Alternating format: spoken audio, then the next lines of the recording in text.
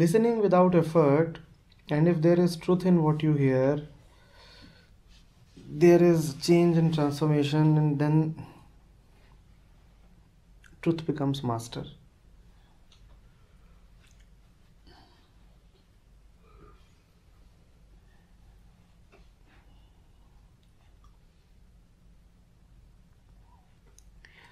There is hardly ever any truth in what you hear Gunjan hardly any truth in what you hear.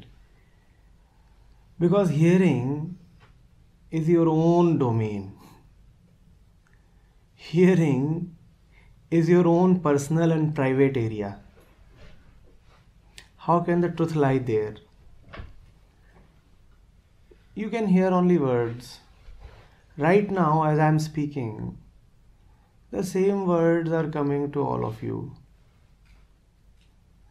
do you really think everybody is in truth?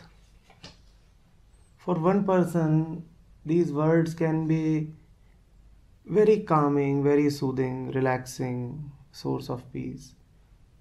The other one may be agitated and panicking within and cringing. Hearing the same words, both of them. What is there in words? Truth is not in words, truth is in your own quality. Truth is the quality of your own mind. Yes, what can happen is that if the words that you hear are themselves emanating from the right center, then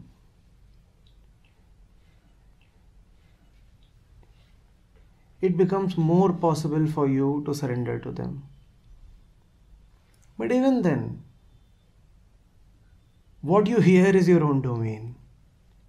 Whether you have decided is your own discretion. You see, the Buddha had said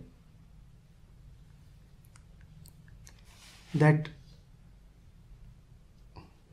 the spoon in the soup the spoon in the soup lives all its life in the soup and yet it never tastes the soup.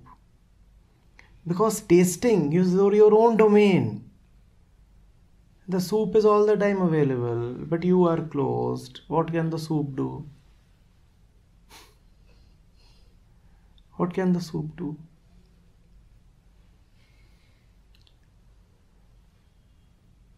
And look at the irony the soup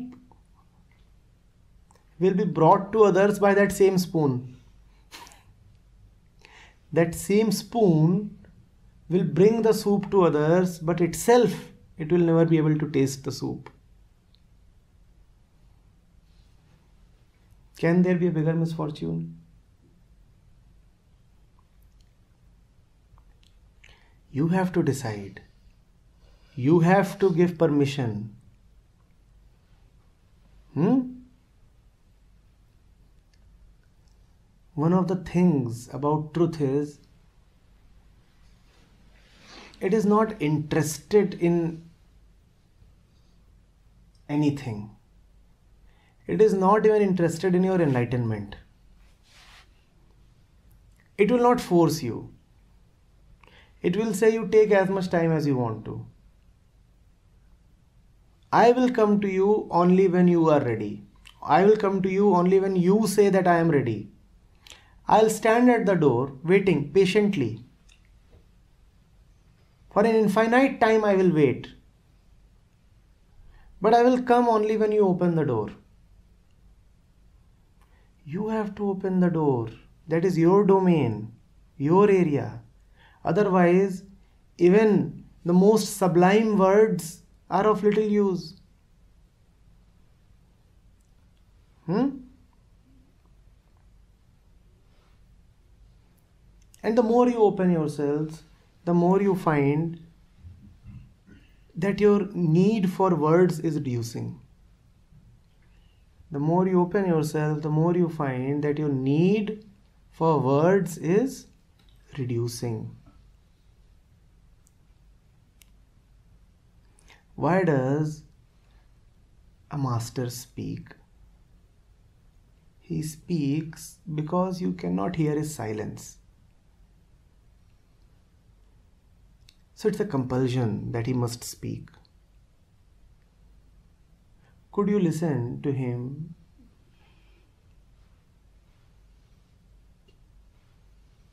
without his words?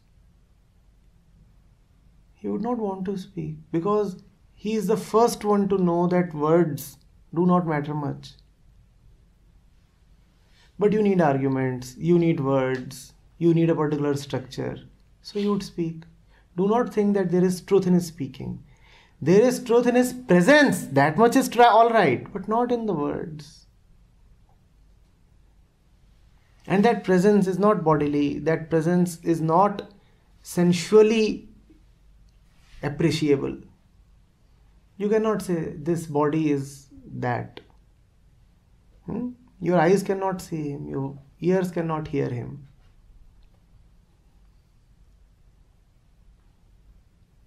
And then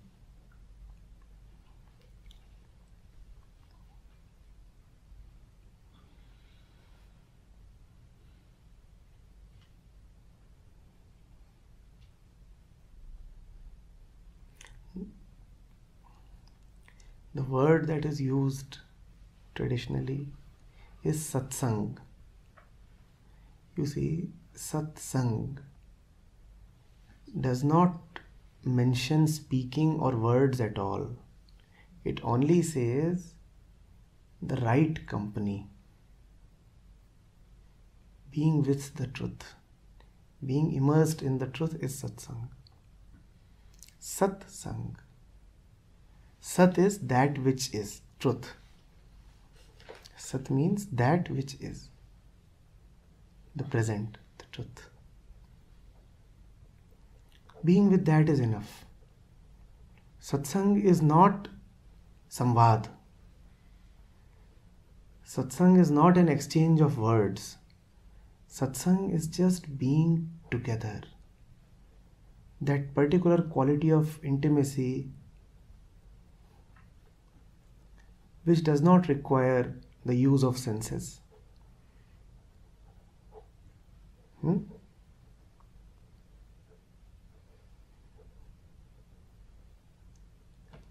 The ones who can read, read from life itself. You're talking of the Master. The life of the Master is available if you could read it. His every movement is available but because you refuse to read it.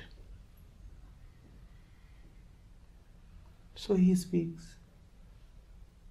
Otherwise, it's there in everything, every breath.